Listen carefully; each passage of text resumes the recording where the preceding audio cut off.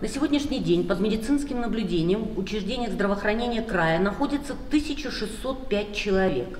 С подтвержденным диагнозом э, коронавирусная инфекция на сегодняшний день э, 143 человека. Э, из общего количества лиц, э, которые являются носителями коронавирусной инфекции, 6 человек э, с тяжелой степенью, э, 24 человека с легкой, э, со средней степенью э, заражения и течения заболеваний.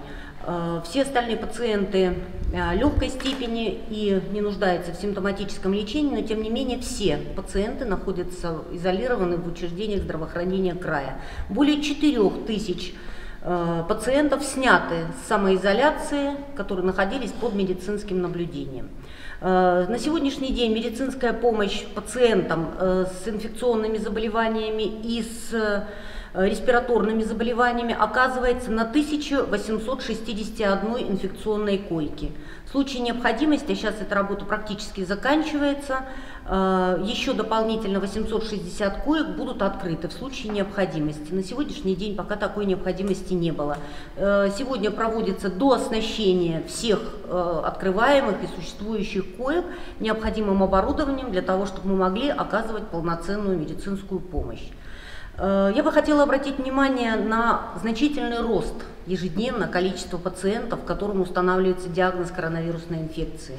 И уверенно могу сказать, что это результат халатного и безответственного отношения к выполнению э, тех мероприятий, которые предпринимаются правительством Ставропольского края для предупреждения распространения коронавирусной инфекции. Еще раз хочется призвать вас всех к мере ответственности.